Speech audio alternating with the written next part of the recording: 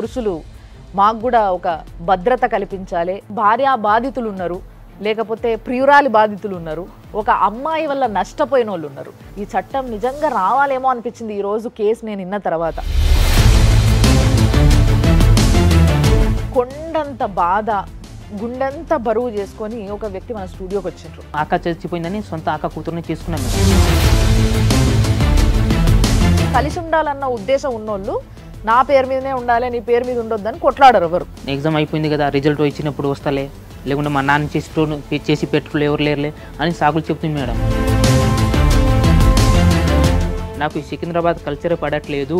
అక్కడేమో లాంగ్వేజ్ లేదు కాబట్టి అక్కడ పడలే. ఇక్కడ లాంగ్వేజ్ ఉంటే ఊరు పడలే. మరి ఆ డాక్టర్కి డౌట్ రాలేదా? భర్త చనిపోయిందంటే? ఏందమ్మా? ఏం మాట్లాడుతున్నావు నువ్వు? కంట్లో కారం వేసి కొట్టినని ఊరు అందరికి చాటింపులు మేడం. ఆ, అది చెప్పు నాకు అంతే. ఒప్పుకుంటున్నా. మరి నేను కొట్టానని అంటుంది కాబట్టి? కొట్టాను. అనుకుంటా మేడం? కొట్టినా? అమ్మా నేను అడుగుతున్న దానికి సమాధానం చెప్పండి. రాపిస్తారులే కానీ అతనికి పంపించండి మేడం. అతనికి పంపించి నువ్వు మొండి మాటలు మాట్లాడకమ్మా.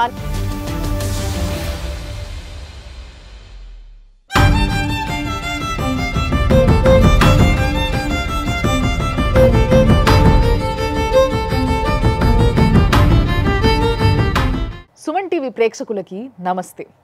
ఇప్పటి వరకు ఎన్నో చట్టాలు వచ్చినాయి. అంటే ఆడపిల్లకి చిన్న అన్యాయం జరిగితే రియాక్ట్ అయ్యే చట్టాలు ఎన్నో విన్నాం. కానీ ఈరోజు సమాజం ఉరుకుతున్న తీరును చూస్తుంటే డెఫినెట్లీ మొన్నటి వరకు ఏ విధంగా అయితే మొగోళ్ళందరూ పురుషులు మాకు కూడా ఒక భద్రత కల్పించాలి మాకు కూడా ఫేవర్గా కొన్ని చట్టాలు రావాలి మేము కూడా అంటే చాలామంది భార్య బాధితులు ఉన్నారు లేకపోతే ప్రియురాలి బాధితులు ఉన్నారు. ఒక అమ్మాయి వల్ల నష్టపోయిన వాళ్ళు ఉన్నారు సో వీళ్ళకు ఒక చట్టం రావాలని పోరాడుతూ ఉన్నారు. ఈ చట్టం నిజంగా రావాలేమో అనిపించింది ఈరోజు కేసు నేను విన్న తర్వాత. సో అలాంటి కేసు మన దగ్గర ఉంది. అండ్ ఎవరైతే బాధపడుతున్నారో ఆ వ్యక్తి కూడా మన దగ్గర ఉన్నాడు.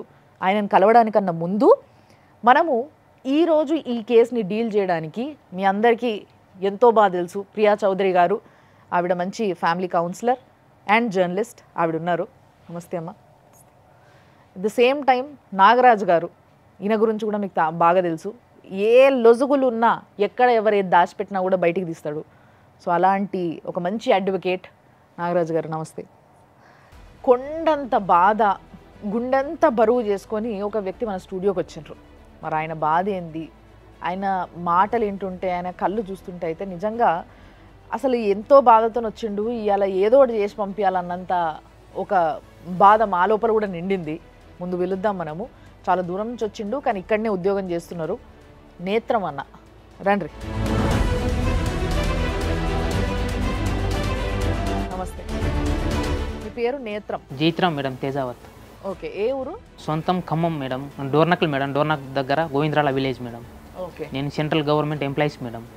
ఇక్కడ సార్ దగ్గర ఐఆర్పిఎస్ సార్ దగ్గర అసిస్టెంట్గా చేస్తున్నాం మేడం రైల్వే నెంబర్లో మళ్ళీ ఇప్పుడు ఏమైంది? ఎవరితో బాధ నీకు? Mrs sir madam. పెళ్ళి పెళ్ళి అయిపోయి సిక్స్ ఇయర్స్ అయిపోయింది మేడం. అయితే మా ఊకే ఊకే వెళ్ళిపోతుంది మేడం ఉన్నానని కారణం ఏంటని అడిగినా కానీ చెప్పట్లేదు మేడం. సొంత వాళ్ళ ఇంటికి వెళ్ళిపోతుంది మేడం. సొంతం అక్క చచ్చిపోయిందని సొంత అక్క కూతురుని చేసుకున్నాం మేడం. పెళ్ళి అయి ఫైవ్ మంత్ దాకానే మంచి హ్యాపీగా ఉంది మేడం. ఆమె అప్పుడు అంటే డిగ్రీ చేస్తుంది మేడం. అయితే సప్లిమెంటరీ ఎగ్జామ్ రాస్తానంటే పంపించాను మేడం. ఇంకా అదే తప్పు చేసి నేను రాపించాను మేడం. అయితే అదే చేసిన తప్పు మేడం. ఆమె వెళ్ళిపోయి అటే ఉండిపోయింది కానీ రాలే మేడం. ఎందుకు? నువ్వు ఎగ్జామ్ రాస్తానని వచ్చినావు కదా.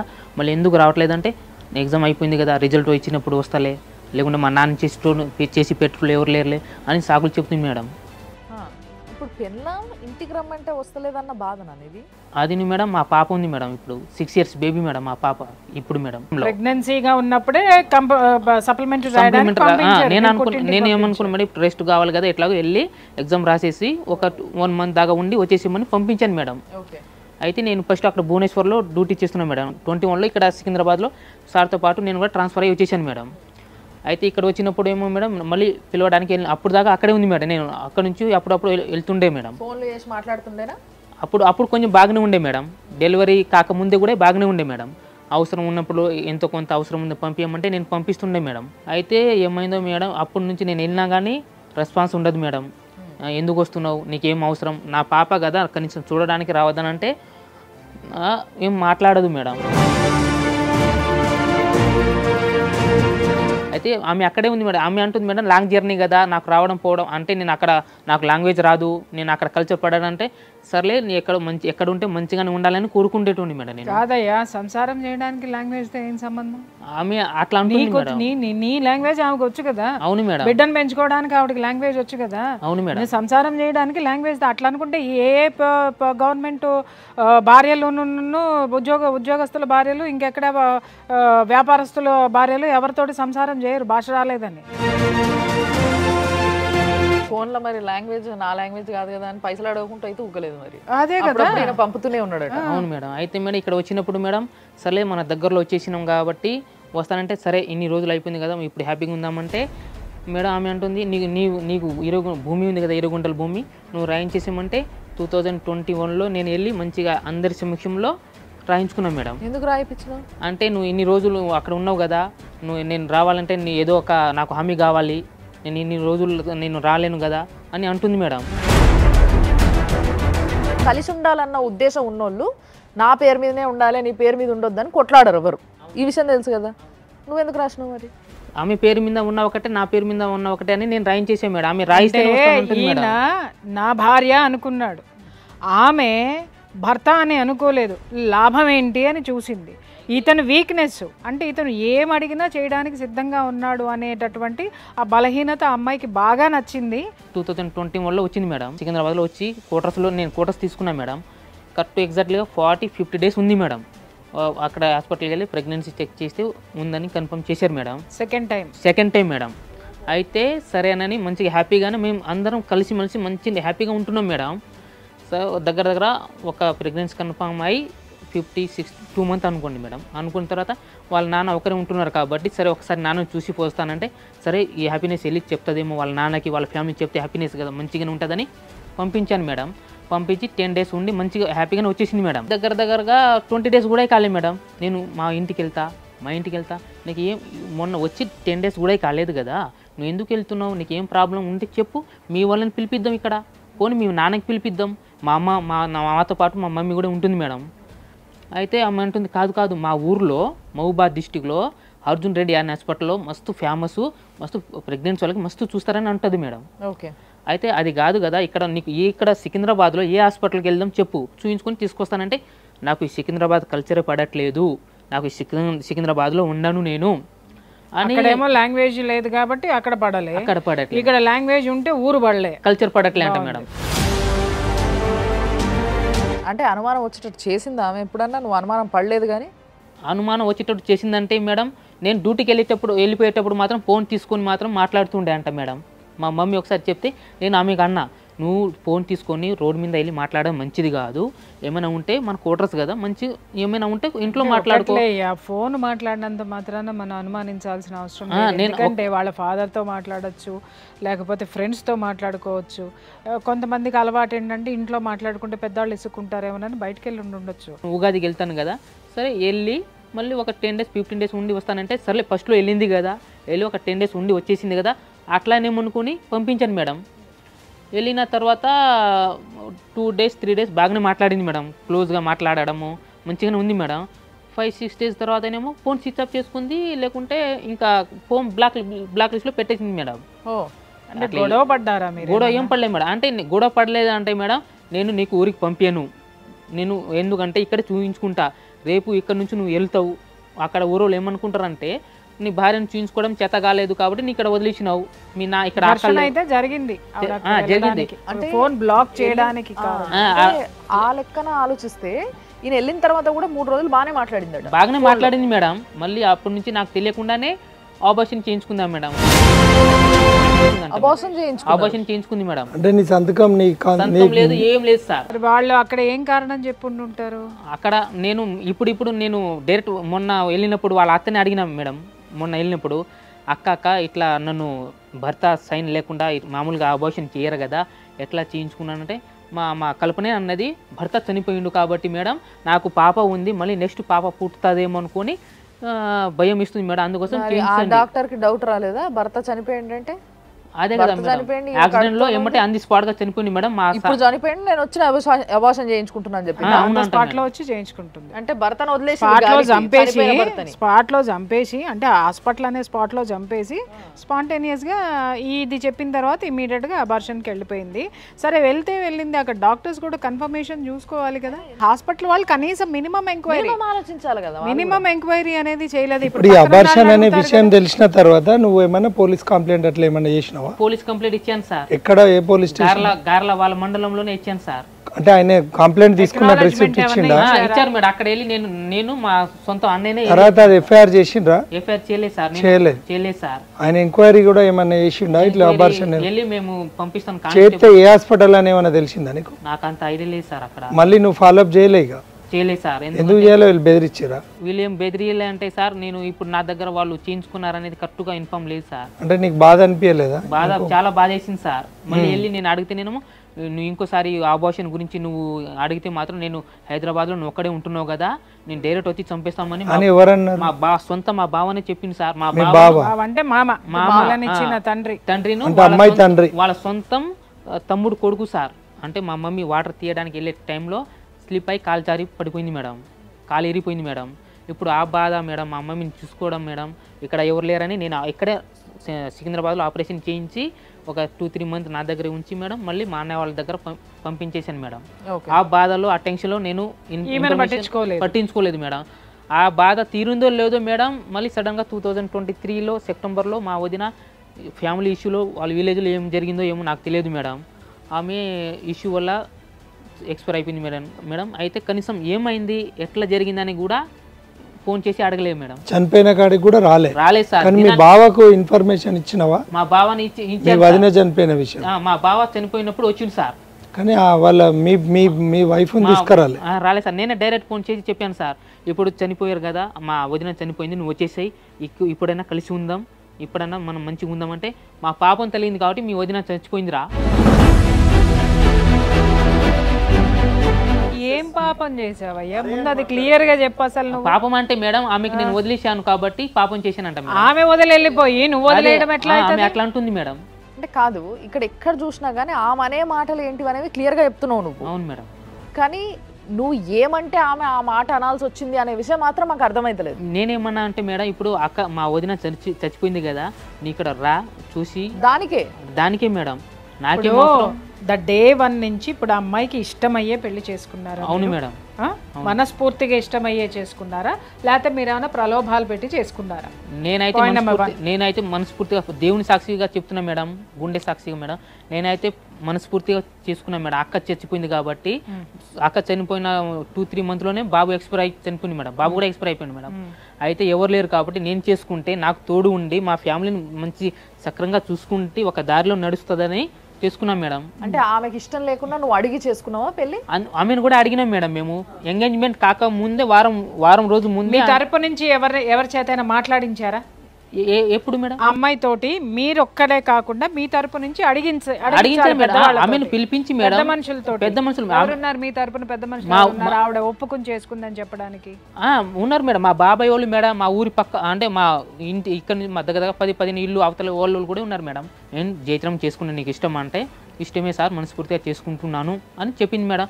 అది చెప్పిన తర్వాతనే ఎంగేజ్మెంట్ చేసినాం మేడం. ఎంగేజ్మెంట్ చేసిన సిక్స్ మంత్ వన్ ఇయర్ లోపునే మ్యారేజ్ చేసుకున్నాం మేడం. సిక్స్ మంత్స్ టైం ఇచ్చావు. ఇచ్చాను మేడం. ఎంగేజ్మెంట్ అంటే ఆమె స్టడీ చేస్తుంది ఎందుకు డిస్టర్బ్ చేయడం అని ఓహో. టైం ఇచ్చినాం మేడం. చదువుకుంది. చదువుకుంది మేడం. తర్వాత అడిగి పోయింది అయితే ఇప్పుడు వస్తలేదని ఇప్పుడు వస్తలేదు మేడం. మొన్న ఇప్పుడు మా సిక్స్ ఇయర్స్ బేబీ ఉంది కదా మేడం. మొన్న టూ థౌజండ్ ట్వంటీ టూ త్రీలో మేడం జూన్లో ఆమె ఏ స్కూల్లో జాయిన్ చేసిన విషయం కూడా చెప్పలేదు మేడం.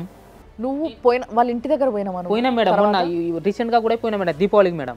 ఆ, మొన్న దీపావళికి పోయినా మేడం. దసరా కూడా పోయినా మేడం. దసరాకు పోతే మేడం ఏం మంచిగానే మాట్లా ఆమె మాట్లాడలేదు మేడం. ఫోర్ డేస్ ఉన్నా మేడం. పాపను పాపను చూద్దామని పోయినా కానీ వాళ్ళ అత్త ఉంది మేడం.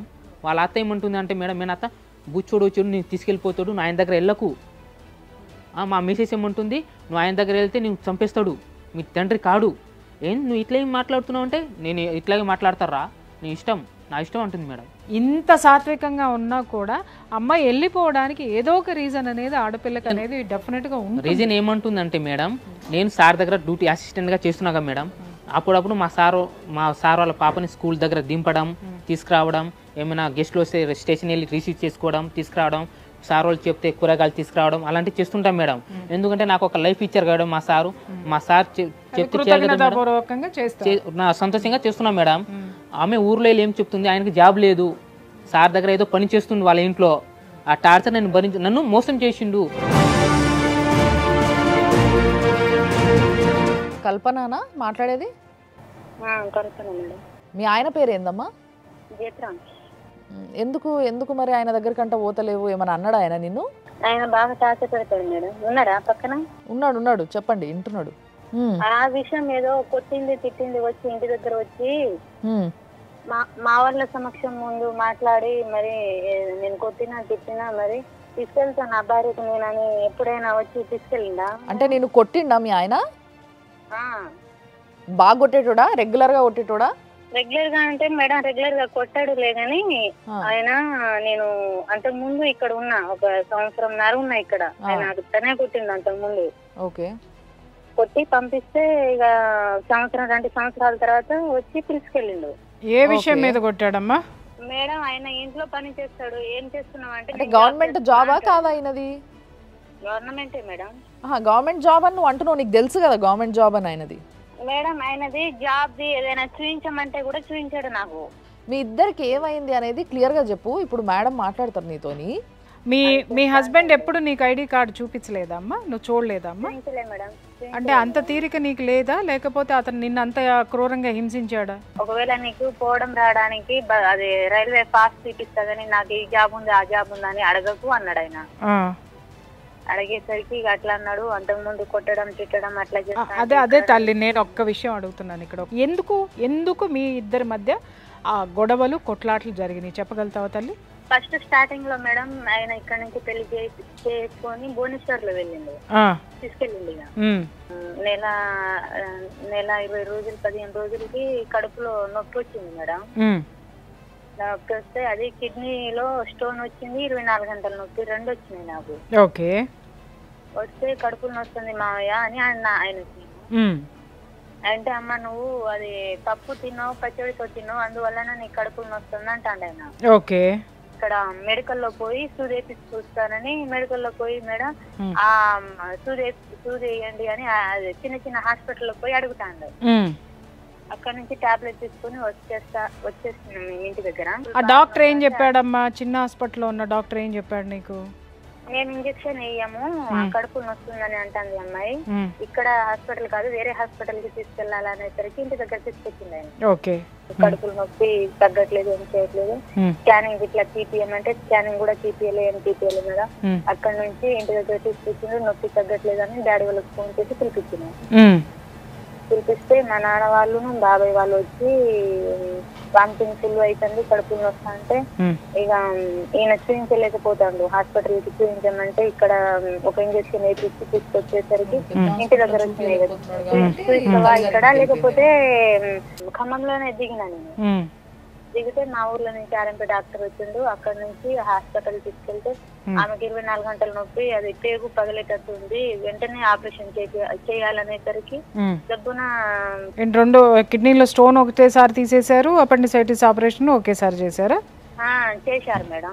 ఏందమ్మా? ఏం మాట్లాడుతున్నావు నువ్వు? కిడ్నీలో స్టోన్కి చాలా ప్రాసెస్ ఉంటుందమ్మా. ఈ ఈ ఆపరేషన్కి ఒక ప్రాసెస్ ఉంటుంది. రెండు ఒకటేసారి చేశారు అతనికి అడగండి. పక్కనే ఉన్నారేమో. ఓకే రెండు ఒకేసారి చేసేసరికి అతను ఎన్ని రోజుల తర్వాత వచ్చిందంటే ఇరవై రోజుల తర్వాత వచ్చింది మేడం. ఓకే. ఇరవై రోజుల తర్వాత వచ్చి నేను తీసుకెళ్తానన్నాడు. అది కుట్లు కూడా కుట్లు తీస్తారు కదా మేడం మూడు హోల్స్ పెట్టారు కదా అక్కడ. ఇరవై రోజుల తర్వాత పిలిపించి ఇక టాబ్లెట్లు ఇట్లా తీసుకొని వెళ్ళండి ఒకసారి మాకు చూపించండి అనేసరికి మేము మళ్ళీ ఇప్పుడు అమ్మ నీ దగ్గర రిపోర్ట్స్ ఉన్నాయా? ఇప్పుడు నీ కిడ్నీలో స్టోన్ ఉంది నీకు అపెండిసైటిస్ ఆపరేషన్ అయిందని నీ దగ్గర ఏమన్నా రిపోర్ట్స్ ఉన్నాయా? ఉన్నది రిపోర్ట్లో ఉన్నది. అతను వచ్చిండు చూసిండు కూడా ఆ, భువనేశ్వర్కి నువ్వు ఫోన్ అన్నవట కదా ఆడ నీకు భాష రాదు కాబట్టి నేను రాను అని చెప్పినవట కదా నువ్వు. నేను భాష రానందుకు ఫోన్ అన్నానా మేడం ఆ, ఆయన చెప్తున్నాడు మరి. అంటారా ఎవరైనా? నువ్వు ఎందుకు నీ మొగుడుతోని కలిసి ఉంటలేవు పాప పుట్టిన తర్వాత మళ్ళీ హైదరాబాద్కు ఒక కాన్ఫాన్ ఉంది నాకు. ఆ, అతని దగ్గర వెళ్ళిన తర్వాత. వెళ్ళిన తర్వాత కాన్పు అందితే వాళ్ళ అమ్మ ఏమన్నదంటే ఇది వచ్చి రెండు నెలలు కూడా కాలేదు అంతలోనే వాంతింగ్ చేసుకుంటుంది కళ్ళు తిరుగుతుందని అంటుంది. మనదా? లేకపోతే వేరే వాళ్ళది ఎవరైనా తీసుకొచ్చిందా అని వాళ్ళ అమ్మ అన్నది. అన్నదా మీ అమ్మాయి మాట? లేదు మేడం ప్రామిస్గా చెప్తున్నా మేడం. ఇప్పుడు దాకా చె- నేను చెప్పలేము ఆమె అడగలేదు నేను చెప్పలేము మేడం. నేను అన్నీ ఉంటే మేడం హాస్పిటల్కి ఎందుకు తీసుకెళ్తాను మేడం నేను? ఆయన అనలేదు అని ఆయన అంటున్నాడమ్మా.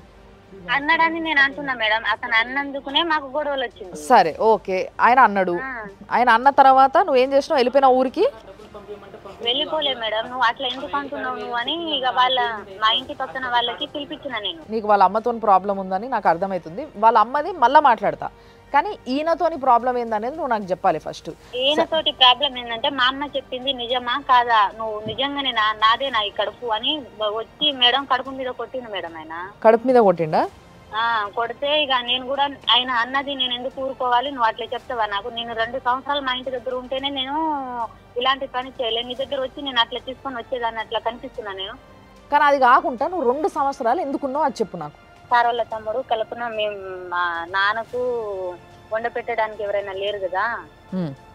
వయసుగా ఉన్నాడు ఎక్కడైనా పెళ్ళి చేసుకుంటే ఏమైంది? ఇప్పటి నుంచి ఆయన వండుకొని తినాలంటే ఏం తింటాడు? ఉమ్. ఆయనకు కూడా ఒక తోడు ఉండాలి కదా అని ఆ- మామయ్య అన్నాడు. అతనితో ఆహా అతనితో నువ్వు ఎందుకు మాట్లాడినావు? మీ మీ నాన్న విషయం ఎందుకు తీసినావు అని తలుపు పెట్టి కొట్టిండు మేడం నాకు. దానికి నువ్వు ఉన్నావు రెండు సంవత్సరాలు. అందుకునే ఉన్నా మేడం. అది చెప్పు నాకు అంతే. నేను అడిగితే నువ్వేమన్నావు? నీ పెన్లాం నీ కొట్టినావా అని అడిగినా నేను. అడిగినా మంచిగా? అడిగారు మేడం. నువ్వేం చెప్పినావు? నేను కొట్టలేదు అన్న మేడం. మరి ఆమె అన్నిసార్లు కొట్టినామని చెప్తుంది కదా? నేను ఒక్క దెబ్బ కూడా కొట్టలే మేడం. కాకపోతే ఇట్లా అన్న నువ్వు పోయి ఆ అబ్బాయితో అట్లా మాట్లాడడం కట్టు కాదు కదా? ఏమైనా మాట్లాడి ఉంటే మంచిగానే మాట్లాడాలి. అని నేను అంతే అన్నా కానీ మేడం ఆమెకు ఏ విధంగా అయితే నేను అబ్బాయితో మాట్లాడడం తప్ప? తప్పు కాదు మేడం మాట్లాడొచ్చు మేడం. సరే నేను కొట్టాను అనుకుంటా మేడం ఒప్పుకుంటున్నా. మరి నేను కొట్టానని అంటుంది కాబట్టి కొట్టాను అనుకుంటా మేడం కొట్టినా? కాదు మేడం కొట్టాను నేను కొట్టలేదు. ఒప్పుకుంటున్నాను అనేది కాదు. అతను అనేది సరే కొట్టా. కొట్టా. తర్వాత ఏంటి? కంట్లో కారం వేసి కొట్టినని ఊరు అందరికి చాటింపులు మేడం. ఇట్లా కాదు. ఇది ఇప్పుడు మీరు దర్వాజాలు పెట్టుకొని లోపల కొట్టుకున్నారో ఏం చేసుకున్నారో ఎవరికి తెలియదు కాబట్టి నేను మా అడ్వకేట్కి ఇస్తా.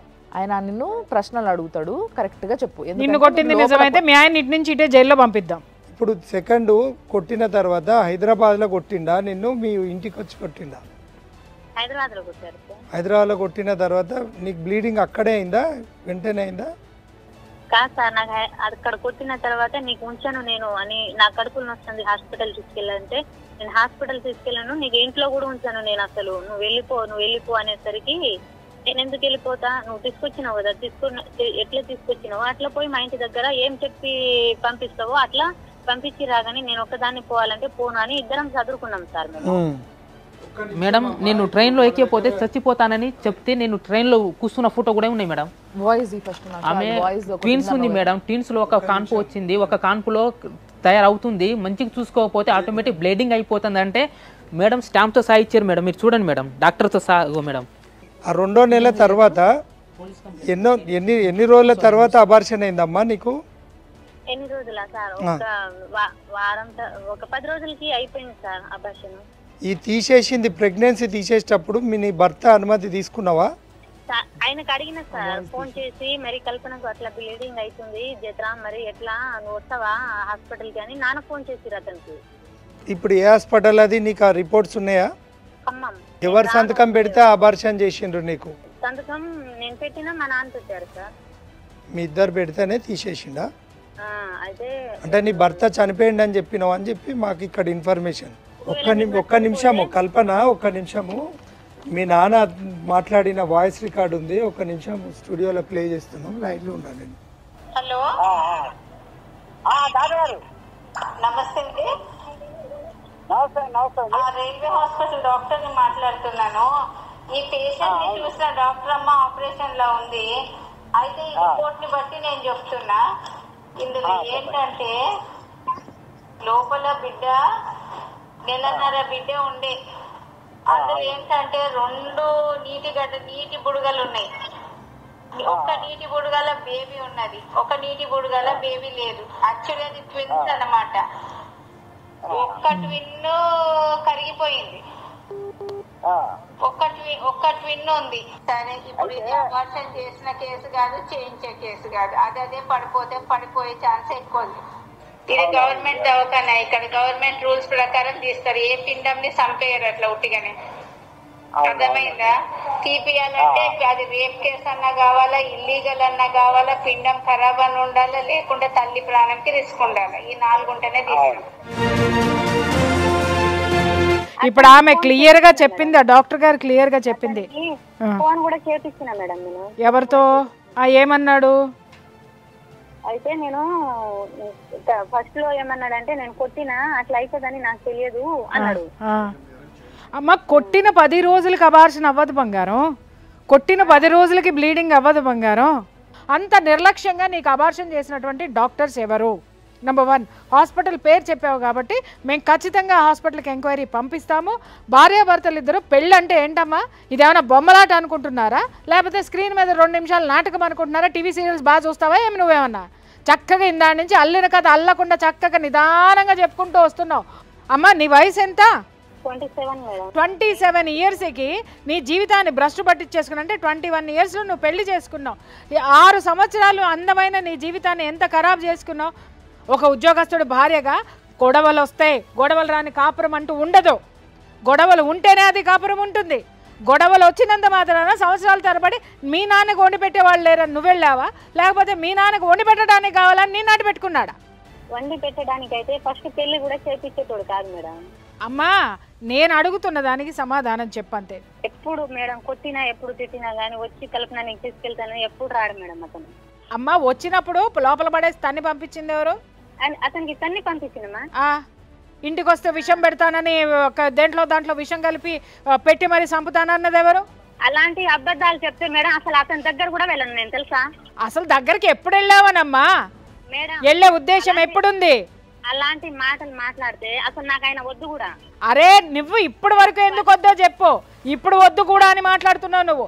ఇప్పటి వరకు నువ్వు వెళ్ళిపోవడానికి కారణం ఏంటి? అతను ఇప్పటి వరకు సొంత మేనరికంలో పెళ్ళి చేసుకున్నా ఇప్పుడైనా మాట్లాడేమో వచ్చి పిలుచుకో అమ్మ మార మారనంత దుర్మార్గుడైతే ఈ పాటికి ఇతని ఇతని హిస్టరీ పోలీస్ స్టేషన్లో ఉండేది. కల్పన. చెప్పండి మేడం. ఇప్పుడు నీకు ఈయనతో కలిసి ఉండడం ఇష్టం అంటున్నావు కదా?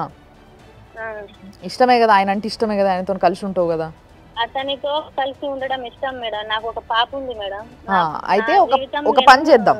రేపు వస్తావా కుదరదు మేడం. ఎందుకు? ఏం పని ఉంది నీకు? సంసారం కన్నా గొప్పగా? ఏం పని లేదులే కానీ సరే ఎప్పుడు వస్తావు మరి నాలుగు రోజులు ఆగి వస్తాను మేడం. నువ్వు వచ్చి మాట్లాడతావా? మాట్లాడు. నువ్వు ఆడేండో కూర్చొని నీకు సంసారం ఇంపార్టెంట్ కాదు. నీకేదో రేపు పెద్ద ఎగ్జామ్ ఉన్నట్టు ఏమీ పని లేకున్నా కూడా రానంటున్నావు. అంటే నీ ఇంట్రెస్ట్ ఏంది అనేది ఈయనే ఫస్ట్ అర్థమైపోతుంది. అంటే ఇప్పుడు నా మొగుడు నా నేను కావాలని వస్తున్నాడు అని అంటే నిజంగా ఎప్పటి నుంచో ప్రేమ దాచిపెట్టుకున్న భార్య అయితే వెంటనే ఉరికొస్తుందమ్మా. నీ లెక్క నాలుగు రోజులు ఆగొస్తా నాకేం పని లేదు కానీ కొంచెం టైం తీసుకొని వస్తా మూడు గంటల దూరంలో పెట్టుకొని ఇరవై నాలుగు గంటల దూరం ఉన్నా కూడా ప్రయాణం చేసి వస్తుంది పెళ్ళాం అనేది. అర్థమవుతుందా ఎందుకు? అంత ఈగో ఎందుకు? ఒక్కసారి నీ పిల్లలతో భర్తతోటి మాట్లాడు. రమ్మని అన్ని చెప్పు. కూర్చొని మాట్లాడుకుందాము. మంచిగా చూసుకుంటా రాని ఏదైతే మేము చెప్పినావు ఈయన అడుగు. మాట్లాడు. నీకు మంచిగా చాలా మంచిగా చూసుకుంటా. కొట్టను తిట్టను ఏం చేయను హ్యాపీగా చూసుకుంటా. వచ్చేసి నువ్వు హ్యాపీగా చూసుకుంటా. అంత ముందు నుంచే హ్యాపీగా చూసుకుంటాను ఇప్పుడు హ్యాపీగా చూసుకుంటావని నాకు నమ్మకమే లేదని మేము కాగితం రాయిస్తామమ్మా. ఇలాంటి మాట నేను ఎప్పుడైనా చెప్పినా? ఏ విషయం? పాప పాపకు నీ దగ్గర వెళ్ళకు ఇతను భూతోడు అని నేను ఎప్పుడైనా చెప్పానా? నువ్వు కాదమ్మా మీ అత్తయ్య చెప్పింది మీ అత్తయ్య నా కళ్ళ ముందే చెప్తుంది. నువ్వు కూడా చెప్తున్నావు. నాకేమైనా కొత్త నాది? లేకుంటే నాకు చెవుడు ఉందా సుమన్ టీవీ ఆఫీస్కి రా. ఇంతమంది సమక్షంలో నీ మొగుడు నిన్ను కొట్టకుండా మంచిగా చూసుకుంటా అని ఇప్పుడు ఎట్లయితే చెప్పిండో అది మేము పేపర్ రాయిపిస్తాం. ఓకేనా? ఇప్పుడు జీవితం నాశనం చేసుకుంటే ఏం రాదమ్మా? భర్త ఒక అడుగు వేస్తే భార్య రెండు అడుగు అడుగులు వేయడంలో తప్పు లేదు. చక్క పెట్టుకుంటావా లేకపోతే ఇంకా తవ్వుకుంటూ కూర్చుంటావా? అవకాశం ఇస్తే ఇప్పుడు నీకు జీవితంలా జీవితము ఒక్క ఛాన్స్ మళ్ళొక్కసారి ఒక ఛాన్స్ ఇస్తుంది. నీ బిడ్డ చిన్న ఉన్నప్పుడే నీ సంసారం నువ్వు దిద్దుకోకపోతే ఇస్తరాకులు ఈ అంటారు చూసినావా? కుక్కలు జింపేసిన ఇస్తరాకులు అంటారు చూసినావా? అట్లా అయిపోతుంది బతుకు తర్వాత తర్వాత. మీ నాన్న ఎన్ని రోజులు ఉంటాడమ్మా? ఎన్ని రోజులు పట్టుకొని ఉంటావు మీ నాన్నని? మేడం మాట మాట్లాడితే మా నాన్నతోటి ఉంటున్నా. మా నాన్నతోటి మా నాన్న వండి పెట్టడానికి ఎవరు లేరని అతను వచ్చి మీ దగ్గర ఆయన అమ్మా. ఒక్క నిమిషం ఉండు. అవన్నీ మాట్లాడకు నువ్వు. నేను మాట్లాడిన దానికి సమాధానం చెప్పగలిగితే చెప్పు. మేడం వస్తా లేదు రాను. నాకు ఇంట్రెస్ట్ లేదు. అంతేగాని ఇవన్నీ నాకు వద్దు. నువ్వు ఇడికి వచ్చి చెప్పు ఇంటా. నేను అదే చెప్తున్నా. అతనికి పంపించండి మీ భార్యకు పోయి తీసుకొని రా. ఇక్కడ మాట్లాడదామని అతనికి. అమ్మ నిన్నెట్లా నమ్మాలా? అమ్మా నువ్వు ఆయన నమ్ముతలేవు? నువ్వు నీ తండ్రిని తీసుకొని రా. సరేనా? నీకు తోడు కావాలి కదా. నీకు నీ బిడ్డకి నీ తండ్రిని తీసుకొని నువ్వు ఇడికి రా. రాపిస్తారులే కానీ అతనికి పంపించండి మేడం. అతనికి పంపించి నువ్వు మొండి మాటలు మాట్లాడకమ్మా. నీకు ఇష్టం ఉంటే ఇప్పుడు. అర్థమైంది. ఇప్పుడు ఇప్పటి. వరకు ఆ అబ్బాయిది ఎక్కడో తప్పు ఉందని చెప్పి మేము ఫీల్ అయినాము. కానీ ఇప్పుడు అర్థమైంది ఏంటి అని అంటే వాడు ఎందుకు విసిగిపోయినాడో వాడు ఎందుకు రెండు పీకినాడో ఇప్పుడు మాకు అర్థమైంది. వాడు పీకటంలో తప్పే లేదు. కల్పన చెప్పండి మేడం. నువ్వు ఆయన వస్తానే వస్తా అంటున్నావు కాబట్టి నీకోసం ఒక పని చేస్తా. నేను నీకు మా ఆఫీస్ నుంచి బండి పంపిస్తా. అందులో నీ మొగుడిని కూడా కూర్చోబెట్టి పంపిస్తా. సరేనా? నీ మొగుడు రావడమే కదా నీకు ఇష్టము. వస్తావా? సరే. ఓకే. ఇది పరిస్థితి. కానీ ఈ పరిస్థితిని అంటే ఇన్ని రోజులు ఇప్పుడు వరకు మనకి దొరికిన కేసులు మేడం సార్ మీరు కూడా. అంటే ఒక విధంగా ఎక్కడో సంతోషం అరే ఇద్దరిని కలపగలుగుతున్నామా దీనివల్ల ఈ వేదిక వల్ల అన్న ఒక సంతోషం ఉన్నప్పటికీ ఇంకోవైపు ఏదో బాధ. ఇది కలిసే బంధంలా కనిపిస్తుంది కానీ ఏమవుతుందో రేపటి రోజు అని. కాబట్టి నీకు సెక్యూరిటీగా సుమన్ టీవీ వెహికల్ ఇచ్చి నిన్ను పంపిస్తాము. నువ్వు పోయి నీ పెన్లాంని తీసుకొని ఇడికి రావాలి. ఓకేనా? అప్పుడు దాకా ఫోన్లు చేసుకోకుండ్రి మాట్లాడుకోకుండ్రి. ఈ కయ్యాలొద్దు. మళ్ళీ అంతలోపు ఇంకో కయ్యం పెట్టుకొని ఆమె వచ్చి మీరు ఫోన్ చేసి ఇంత చెప్పి పెట్టేసి నాకు ఈ మాట అన్నాడు ఇవన్నీ నాకు వద్దు సార్ మీరేమంటారు? ఈ కేసు చూసినాక మీకేమనిపిస్తుంది? కానీ ఇక్కడ ఏమైందంటే మేడం ఇక్కడ ఎంత పెయిన్ అంటే అంటే యాజ్ అడ్వకేట్గా నేను కూడా బాధపడేది ఏంటంటే నా పాప నన్ను చూడనిస్తలేరు. అది. నా పాప నన్ను చూడనిస్తలేరు పాప కోసం నేను ఎంత దూరమైనా పోతా అని ఇరవై రెండు గుంటల భూమి రాయించుకుంటారు. ఇదొక ప్రాబ్లం. తర్వాత ఈయన ఉండంగా మళ్ళీ మళ్ళీ ఒక రెండు సంవత్సరాల గ్యాప్ తర్వాత మళ్ళీ ఏదో వచ్చిన రెండు నెలలకి ఆమె ప్రెగ్నెంట్ అవుతుంది. ప్రెగ్నెన్సీ కన్ఫర్మ్ అయినాక వెళ్తుంది. కానీ అక్కడ ఎటువంటి డౌట్ కానీ ఏది కానీ లేదు. కావాలని పుట్టించిందే ఎందుకంటే మేము చాలా కేసెస్ చూస్తాం కదా మేడం. ఆమెకు సంసారం చేసుకునే ఆలోచన లేదు. తర్వాత ఈ అబ్బాయి సెంట్రల్ గవర్నమెంట్ ఎంప్లాయ్. అసలు ఎట్టి పరిస్థితుల్లో వదులుకోవద్దు ఆమె. ఆమెకి ఏమైందంటే ఒక పేరెంటల్ అటాచ్మెంట్ అంటే ఒక ఫాదర్కి సేవకురాలుగా ఉండేదా? లేకపోతే ఇంకేమన్నా ఆమెకు లోపల ఉందా? తెలియదు ఆమె మాత్రం పర్సనల్ లైఫ్ లీడ్ చేస్తుంది. పర్సనల్ లైఫ్ లీడ్ చేస్తుంది. బిడ్డను బిడ్డను మధ్యలో పెట్టి బ్లాక్మెయిల్ చేసి. తర్వాత ప్రెగ్నెన్సీ అవుతుంది ఇక్కడ కొడతారు. ఇక్కడ నుండి ఖమ్మం వరకు ఎట్లా పోతుంది మేడం పెయిన్ తోటి? ఒక ఆడ ఇంతమంది సమాజం చూస్తున్నటువంటి పరిస్థితుల్లో ఆమె తెలివిగా చెప్పడం కూడా ఇక్కడ కొట్టాడు. పది రోజుల తర్వాత బ్లీడింగ్ అయ్యి అబార్షన్ డిగ్రీ చదివిన అమ్మాయి వన్ డబల్ జీరో కాల్ చేసుకోనో ఇంకేమేమో చేస్తారు. ఇంత ఒక్క కేసు కూడా. లేదు. ఇప్పుడు ఈయన ఫ్యామిలీ కోర్టులో కేసు వేసినాడు. తర్వాత అక్కడ ఏదైతే అబార్షన్ అయినాక కూడా పెయిన్ఫుల్గా పోయిండు. మనకు చెప్పిన ఇన్ఫర్మేషన్ ప్రకారం ఈయన చెప్పిన మనం అంటే మనం స్క్రూటినైజ్ చేసుకునేటప్పుడు ఆయన చెప్పిన ఏడ్చిండు కంప్లీట్ నా బిడ్డ నాకు కావాలి. కానీ ఇక్కడ చట్టంలో ఏమవుతుందంటే మేడం చట్ట ప్రకారం పోతే ఈయన ఎంప్లాయ్ ఈయనని ఇంకా అరెస్ట్ చేయొచ్చు. కానీ వాళ్ళకి ఇరవై రెండు గుంటల భూమి దొరికేసింది. ఉమ్. ఒక పాప దొరికింది భర్త అయితే ఉన్నాడు. ఇంకా ఉన్నాడు. ఉన్నాడు అంటే ఇంకా కొన్ని సంఘటనలు చూస్తే అక్కడ పిల్లకి ప్రతి మెయింటెనెన్స్ అతనే ఇస్తున్నాడు. ఈవెన్ ఈవెన్ ఫోన్ రీఛార్జ్తో సహా ఇప్పటికీ అతనే చేస్తున్నాడు. అంటే వాడుకుంటున్నారు అతన్ని. మా అక్క బిడ్డ కదా అని కట్టసితో ఈయన ఉన్నాడు కానీ ఆమెకి లేదు. ఆమెకి లేదు చట్టపరంగా చట్ట ప్రకారంగా మనము ఈయనున్న పరిస్థితులు ఏంటంటే గార్డియన్ ఓపీ వేసుకోవచ్చు ఫ్యామిలీ కోర్టులో. అంటే నా పాప కావాలని కానీ చట్టంలో ఏ ప్రొవిజన్లో కూడా ఎయిటీన్ ఇయర్స్ నిండే వరకు ఒక అంటే తల్లి కాన్సెంట్ లేకుండా ఇచ్చే రూల్ అయితే లేదు. ఈయనకు బిడ్డ రావాలంటే రాదు. కానీ అందుకనే మన టీవీకి వచ్చిండు. ఆమె తెలివి అనుకొని మాట్లాడుతుంది ఎట్టి పరిస్థితుల్లో ఆమెకు సంసార లక్షణాలు లేవు అనే చెప్పొచ్చు. ఈయన ఏంటంటే డైవర్స్. వేసుకోవచ్చు గార్డియన్ ఓపీ వేసుకో గార్డియన్ ఓపీ వేసుకోవచ్చు. ఈ అబార్షన్ మీద మాత్రం కంపల్సరీ దాన్ని అప్పుడు పెట్టిన అప్లికేషన్ మళ్ళీ ఇప్పుడు ఒకసారి రివ్యూ అడిగి దాని మీద మనం హైకోర్టు నుండి కూడా దాన్ని డీటెయిల్ ఎంక్వైరీ మనం ఐఆర్ ఆఫీసర్కి అక్కడ సంబంధిత జిల్లా ఎస్పీ గారితో ఈయన అప్లికేషన్ పెట్టుకొని సామాజిక న్యాయం అనేది ఉండాలి అయితే మనం ఒక్క పని చేద్దాం సార్ ఇప్పుడు మీరు చెప్పిన పాయింట్స్ పైన డిపెండ్ అవుతూ కూడా అమ్మా ఈ ప్రోగ్రామ్ ఇవాళతోని ఇక్కడితోని అయిపోయేది కాదు ఇది మేము కలవబోతున్నాం.